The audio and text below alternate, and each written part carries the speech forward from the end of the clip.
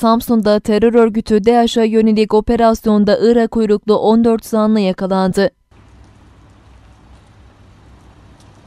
İl Emniyet Müdürlüğü Terörle Mücadele Şube Müdürlüğü ekipleri ilk adım ilçesinde belirlenen adreslere eş zamanlı operasyon düzenledi. Operasyonda terör örgütü DAEŞ içinde faaliyet yürüttüğü tespit edilen Irak uyruklu 14 şüpheli yakalandı. Zanlılar sağlık kontrolünün ardından emniyete götürüldü.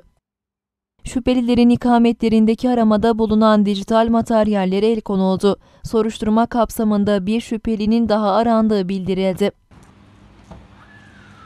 İstanbul'da terör örgütü DHKPC'ye yönelik operasyon yapıldı. Eylem hazırlığında olduğu belirlenen sözde alan sorumlusu iki kişi gözaltına alındı. İstanbul Emniyet Müdürlüğü Terörle Mücadele Şube Müdürlüğü ekipleri DHKPC'nin sözlü alan sorumlusu düzeyindeki iki şüphelinin eylem arayışı içerisinde olduğu istihbaratı üzerine çalışma başlattı.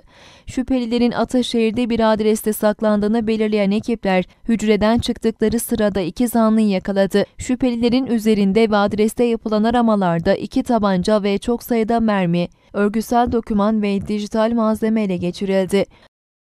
Şüphelilerin emniyetteki işlemleri sürüyor.